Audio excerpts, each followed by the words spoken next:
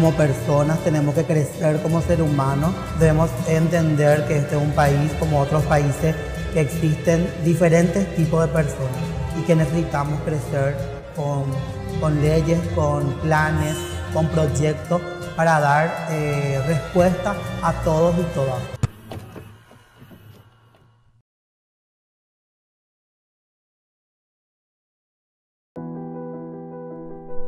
Soy Irene Rotela, tengo 38 años, soy una mujer trans. Em, para la obtención del documento realmente fue un proceso de varios años. Primero conocer cómo podíamos hacer la demanda, porque en Paraguay se puede hacer el cambio de nombre, pero no el cambio de sexo. Es con una demanda judicial. Evidentemente que la justicia discriminó eh, y hoy está en Cámara de Apelaciones con dos dictámenes ya de dos jueces, falta solo el último, para saber si me dan o no el, cambio de nombre. Yo tuve varios otros nombres, ¿verdad? En la vida, pero Irene Rotela es la que me identifica hoy y es lo que yo realmente soy. Entonces debo tener ese nombre y por eso eh, hice todo este proceso de cambio de nombre, ¿verdad?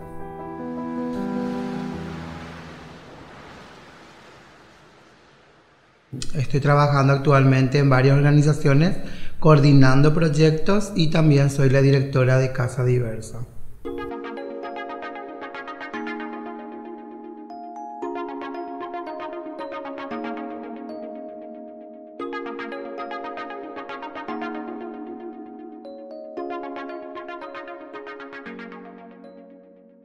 Casa Diversa es un espacio de la diversidad sexual que hoy tiene más trabajo con compañeras trans por las circunstancias de la vida. Las compañeras trans son las que más sufren discriminación, violencia, entonces necesitan un espacio donde puedan estas personas tener afectos, cariño, contención, apoyo. Eh, mi nombre es Duarte Echeverría, tengo 14 años. Mi nombre es Fernando, estoy una semana en casa diversa Salía en la calle para trabajar. Eh, algunas chicas me pegaban. Mi familia me rechazó por lo que soy, me echó de mi casa cuando yo tenía 17 años. Eh, yo iba por mucho tiempo en la calle, eh, Irene Rotela me llamaba. Y un día eso llegué en Panambi, me dijo si que quería venir a la casa y verse y eso. Sí, le Irene me insistía mucho para venir porque yo estaba en una, en una situación de explotación sexual.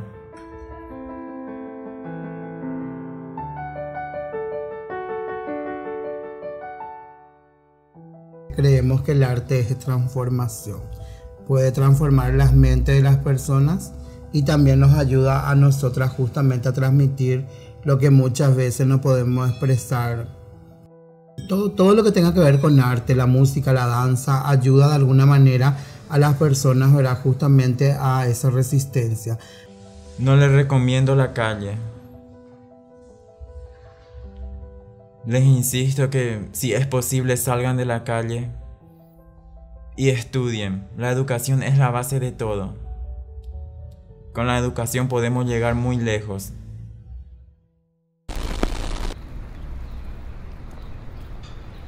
Me encuentro trabajando en varias organizaciones, ¿verdad? como Repadis, que coordino proyectos sociales de eh, trabajos de incidencia política, pero también estoy en Panambí, aún coordinando proyectos para América Latina con Regla Trump, que es un proyecto de incidencia política y también educación. Soy Mariana Sepúlveda. Eh, tengo 33 años, soy secretaria general de la Asociación Panambí. Actualmente cumplo con la labor de documentada de casos de denuncia del Centro de Denuncias de Panambí. Panambí es una asociación que nuclea a personas trans, tanto mujeres como hombres trans, que promueve y defiende los derechos de la, de la colectividad trans Panambi surge a raíz de las múltiples violencias que sufrimos las personas trans en diferentes sectores, en especial en el ámbito donde ejercemos el trabajo sexual. La primera vez que salí del país eh, fue en el año 2015 para la presentación de la CDH del informe Olvidada de la Muerte, un informe que realmente tiene mucho, mm, mucha historia para mí, ¿verdad? Eh, ¿Por qué? Porque anteriormente nosotras no nos imaginábamos escribir en un informe, presentar al Estado y veíamos a las compañeras caer, ¿verdad? Porque siempre veíamos cuando le mataban a las compañeras, cuando le asesinaban a las compañeras, pero no había ningún registro. Nosotros como registramos que pudimos anotar 36 nombres en aquel entonces, ¿verdad? Y de esos 36 se volvieron 60 casos hasta hoy, ¿verdad? Ese informe dio el, el, primer hincapié para nosotras, ¿verdad? En decirle al Estado que sí estaba pasando y que ellos no estaban haciendo lo que tendrían que hacer, es investigar realmente, ¿verdad? Y a partir de ese momento se dio la posibilidad de una audiencia pública por primera vez en el 2015, que realmente fue como emocionante.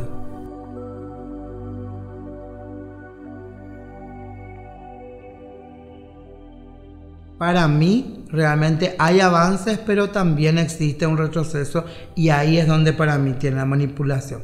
Los medios de comunicación, donde vos le colocas a las trans, le criminalizas, le discriminas, no le das opción. Y lo otro es el tema, para mí, la religión, ¿verdad? El tema de los fundamentalistas que realmente tiene un mensaje de odio y que trata de colocar eso y coloca luego eso en una sociedad que la sociedad lo que viene entra en pánico, ¿verdad? Porque cuando vos le hablas de que las trans o los gays quieren abusar, atacar a los niños, es un tema que es muy muy vidrioso hablar de, niños, hablar de matrimonio, porque, o hablar de la religión misma. Entonces es como que nos colocan ese grupo pequeño que tiene la concentración de todo el dinero también y hace que realmente nos coloque a nosotros y a nosotros como, como amenazas a una sociedad. Entonces eso es lo que tenemos que trabajar y tenemos que empezar a fortalecernos, visibilizar y ocupar espacios en todos los ámbitos, en las luchas sociales, en las marchas, en comunicación, en todo lado. Hay que estar para que podamos cambiar, ¿verdad? Y trabajar, por supuesto, en la comunidad. Yo creo que hay organizaciones que están trabajando eso, ¿verdad? A poquito en las comunidades y va cambiando.